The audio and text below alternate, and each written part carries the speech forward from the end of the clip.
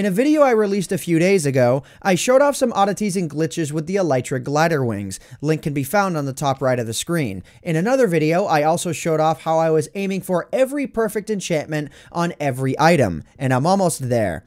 But after that video, I realized I've never properly shown off the most effective way to fly with the Elytra, maneuver with them, or have sick aerial dogfights with them. So strap yourselves in, we're going for a ride.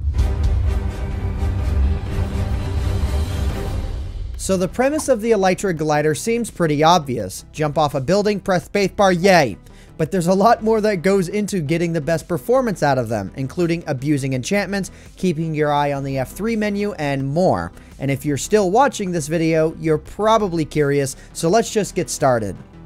If you're using the Elytra glider wings on survival mode, the first thing you want to do, if you can, is get Unbreaking 3 on your Elytra. These things are stupidly fun, and you will drain the durability pretty quickly. So quickly, in fact, that the Elytra without Unbreaking will only last 7 minutes and 11 seconds, but with Unbreaking 3, it'll last about 26 to 28 minutes. Also, get an Unbreaking 3 Punch 2 Infinity Bow if you can. If you want to put mending on these items, the best way to get a mending book is by trading with any librarian villager until you find one that will give you a mending book. Though the Elytra can be repaired with leather if it breaks, as you guys can see here, it can't be repaired forever as the enchantment cost will eventually get too high. Though mending will obviously allow you to repair these things forever.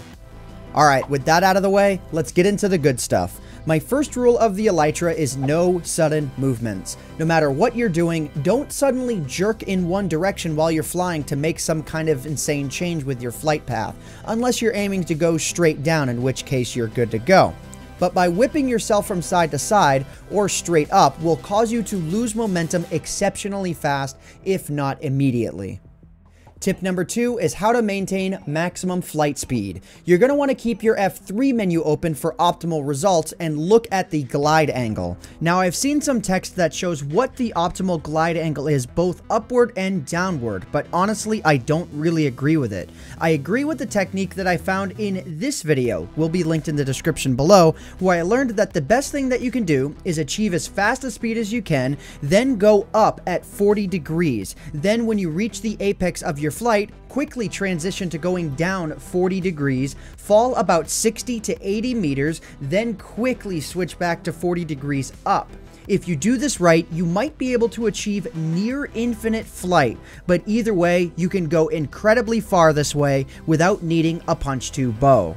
And after some initial testing, yeah, you can bet your butt that this strategy allows for infinite flight, but it is really precise, so I'd still recommend the bow technique if you're looking to have fun.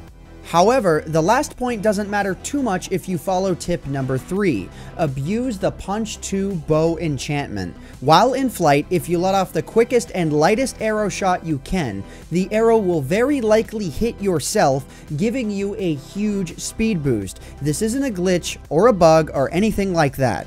It's likely not ever going to be removed either. It's been a part of the game for quite some time now, and if you get really proficient at this, you can also shoot yourself while flying almost vertically, giving you a huge vertical boost, allowing you to reach whatever height you want. I've gotten as high as 2,000 blocks within about a minute or so using this technique.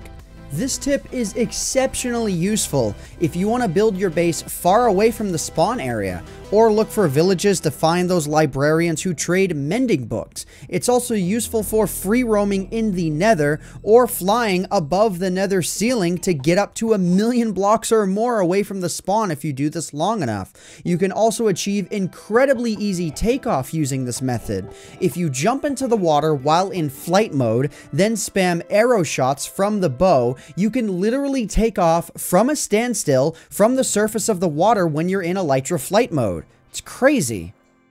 Alright, last up are aerial dogfights. I personally use my Elytra on my Minecraft Realm server. At this point, I don't have a whole lot left to do there because I have perfect, legitimate enchantments on pretty much every item. But one thing that never gets old are aerial battles. There aren't any specific tips that I have for this, other than take full advantage of the previously mentioned tips and have a lot of fun. And also keep in mind lag that exists within Minecraft as well. You may need to do your arrow shot or your sword hit a little earlier than you might otherwise expect. So learn how lag works and have a lot of fun.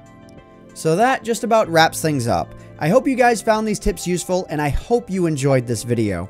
If you did, please consider leaving a like on it. It helps out myself, the channel, and the video quite a lot. And I know that I say that a lot, but with your continued support, this channel really has begun to grow again and it's growing quite fast. So thank you guys very much.